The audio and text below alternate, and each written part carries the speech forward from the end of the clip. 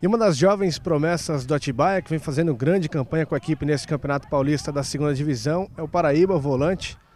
Paraíba, você vem mantendo a regularidade e o time vem fazendo uma grande campanha até aqui dentro da competição. Com certeza, eu procuro trabalhar forte, é, com a influência com os jogadores experientes, eu consigo manter minha, minha média, meu rendimento dentro de campo durante vários jogos. E isso é muito importante para mim, para a minha carreira e continuar dando sequência, que é o mais importante, e conseguir ajudar o Atibaia da melhor forma possível. O Fernando Gaúcho é um dos é o mais experiente né, desse grupo. Ele costuma conversar bastante com os jogadores jovens e você é um atleta que ele conversa bastante.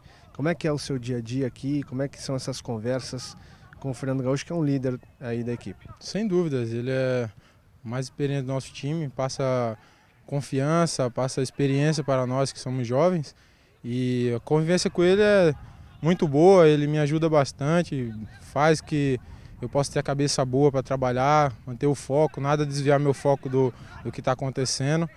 E ele vem me ajudando bastante e eu procuro agarrar essa oportunidade que ele vem me dando de querer me ajudar. E ele é, tá, sem, sem dúvidas, é um grande líder para o nosso grupo. Ele é um cara que já tem títulos, tem acessos no currículo, é né, muito conhecido aqui no interior de São Paulo.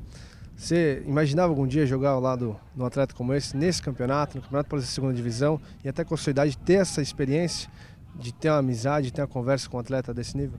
Não, eu não. Eu conhecia ele assim por nome e tal, por ser jovem, não cheguei a jogar com ele a primeira vez. Oportunidade bateu na porta aí, tem que agarrar. Ele é um cara bastante conhecido, um cara já rodou vários títulos e essa, essa experiência dele nos ajuda bastante.